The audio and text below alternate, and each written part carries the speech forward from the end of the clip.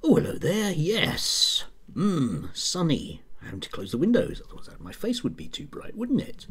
Anyway, um, yes, today, the beginning of the RMT strikes, and uh, the press, uh, the media generally, right wing media, which is basically all of them, have been uh, in a meltdown for the last few days, especially with the demo at the weekend. Um, strikes are a £1 billion lockdown for Britain, says the Daily Mail. Yes, and um, yeah, they're throwing everything they can at this apart from negotiations, obviously. Yes, um, uh, there's been a lot of talk. I think I pointed this out last week about the pay for train drivers, and there are two problems around the pay for train drivers. Number one, um, a lot of journalists don't seem to know what the word average means. It doesn't mean median, guys. That's not what an average is. We don't use that word for an average. But it's kind of convenient. So we have Mr. Shapps uh, saying the median salary for the rail sector is £44,000, which is significantly above the median salary in the country. The RMT contests this, however, saying the figures used by the government are too high, and this is because the government includes train drivers, which are represented by a different union, ASLEF. Yes, indeed. Now, if you throw in train drivers amongst the rail workers, you do get a much higher figure because they're skilled workers. You'd expect them to be paid more than a cleaner. But the government isn't going to tell you that, is they? Are they? No.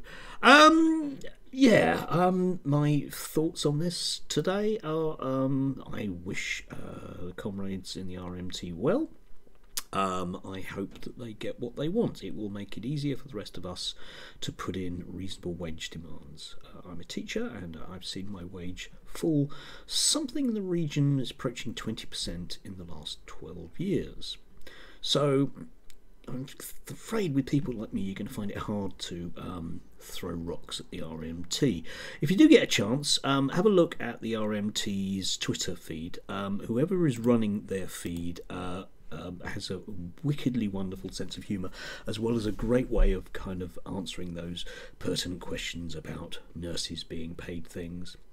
Uh, final thought for the day um, from uh, the Metro um, is that the government um, are going to announce that basically people in the city on huge amounts of money are going to be allowed to earn a great deal more, which is a lovely announcement on a day when the government is suggesting that ordinary people pay for their economic incompetence. Yes. Anyway, um, tells you everything you need to know about the government in terms of the level of contempt they have for ordinary people by simply allowing a story like this out. But I guess it doesn't mean that we're talking about a story mysteriously disappearing from the Times. Anyway, have a lovely day. Um, I'm going to teach a pupil about mean, median, and mode this morning. Maybe I should include some journalists, eh? Hmm. Take care.